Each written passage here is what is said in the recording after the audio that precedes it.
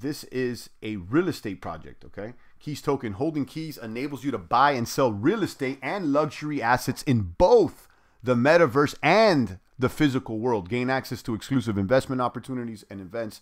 Uh, become of a powerful network. Now, this project is backed by a lot of um, real estate sales marketing guys that appear to have deep pockets and some connections to uh, people that are in the luxury world. You know, uh, I follow certain real estate agents that sell luxury assets that are really pushing this. So this is not necessarily being marketed, and it's not a token that is a cryptomaniac token, but uh, they, you know, they're building something here, and I see a lot of marketing.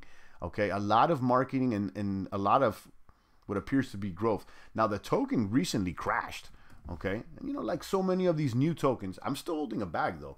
It's down to uh, it's down 19%. This token I've seen it go as high as like 30 cents. 29 cents, right? Just 10 days ago. So this thing may be oversold. They got new part partnerships, and I was checking out on their Discord. They're even doing something with Netflix and everything. So I I wouldn't sleep on this token. Okay, I'm I'm still holding this thing and I'm staking it. Um, you can farm it. You could uh, there's APRs or whatever. I think the APR for single asset is about 150 or 180, and then um, farming the token keys ETH is about like 1200 or 1400 percent APR. Shawgan, you got the keys token.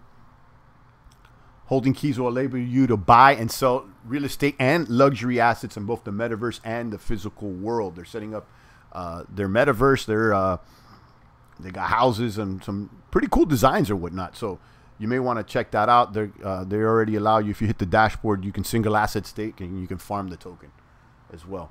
And I think that this one could be oversold.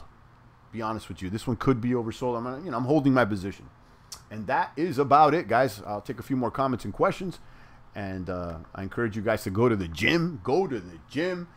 I was there early, uh, doing my squats and doing my over.